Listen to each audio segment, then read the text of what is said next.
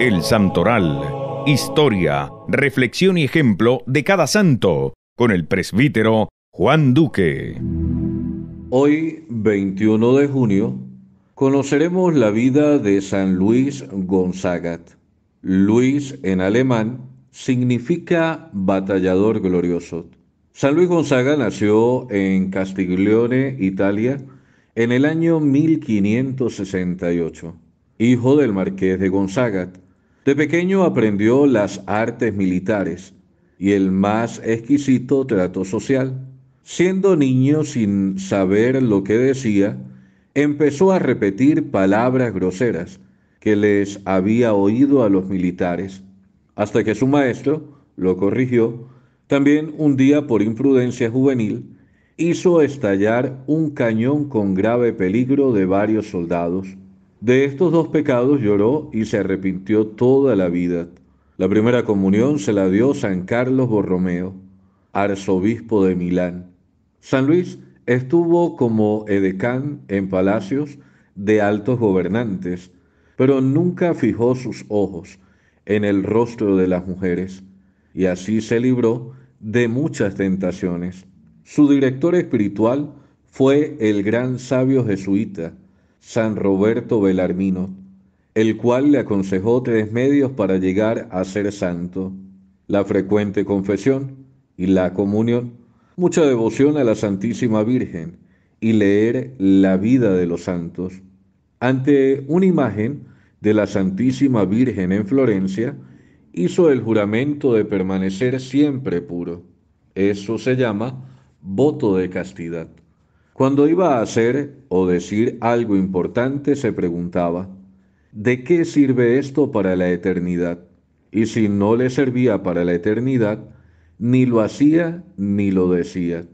Una vez arrodillado ante la imagen de Nuestra Señora del Buen Consejo, le pareció que la Santísima Virgen le decía, debes entrar en la compañía de mi Hijo.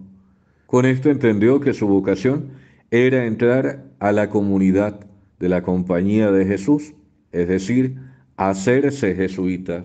Le pidió permiso al papá para hacerse religioso, pero él no lo dejó y lo llevó a grandes fiestas y a palacios, a juegos para que se olvidara de su deseo de ser sacerdote. Después de varios meses le preguntó, ¿todavía sigues deseando ser sacerdote? Y el joven le respondió, en eso pienso noche y día. Entonces el papá le permitió entrar de jesuita en un desfile de orgullosos jinetes en caballos elegantes. Luis desfiló montado en un burro y mirando hacia atrás. Lo silbaron, pero con eso dominó su orgullo. En 1581, el joven Luis Gonzaga, que era seminarista y se preparaba para ser sacerdote, se dedicó a cuidar a los enfermos de la peste de tifo negro. Se encontró en la calle a un enfermo gravísimo. Se lo echó al hombro y lo llevó al hospital para que lo atendieran.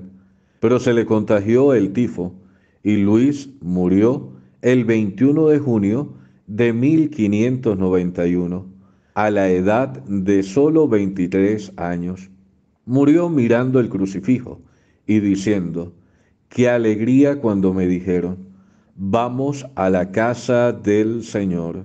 La mamá logró asistir a su beatificación.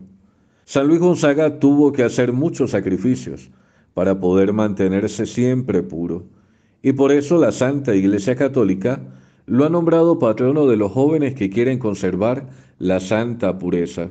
Él repetía la frase de San Pablo, domino mi cuerpo y lo reduzco a servidumbre, no sea que enseñando a otros a salvarse, me condene yo mismo.